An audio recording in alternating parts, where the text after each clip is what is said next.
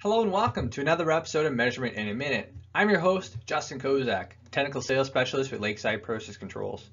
And in today's video, we're discussing Rosemount's 765 temperature and water level sensor utilized in our tank gauging applications.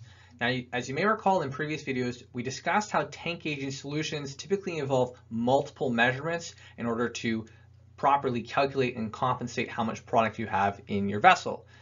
Most commonly, we utilize a level measurement, temperature measurement, and pressure and or density. So today we're focusing on temperature, and we actually have not just one measurement with this temperature sensor, but up to 10.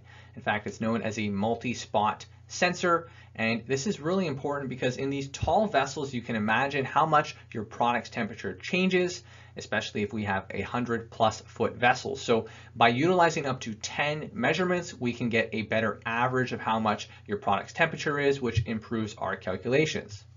Now the great thing about a 765 is the fact that it's also paired with a water level sensor. This is monitoring how much water is at the bottom of your vessel. So if we take a look at a common setup here, the top product is some sort of oil-based product, lighter than water, floats up top, and then at the bottom you have water, which unintentionally finds its way into your vessels. Um, and this is something that we want to avoid, we want to remove and minimize.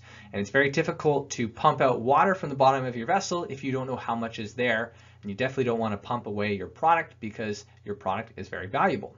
So what we've done is we've added a capacitance probe to the end of our multi-spot sensor. We have both a 20 inch and a 40 inch option depending on how much water you expect to be there. And what it's doing is it's looking for that water oil interface and reporting that as a level or a water bottom measurement for you.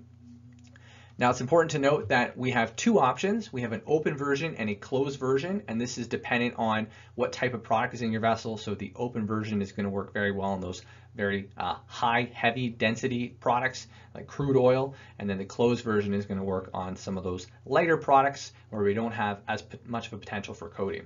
And that's Rosemount 765 and how we utilize it as both a temperature and a water level sensor in your tank gauging applications. Should you have any questions about this product or any others, please reach out to us at www.lakesidecontrols.com. Thanks for joining.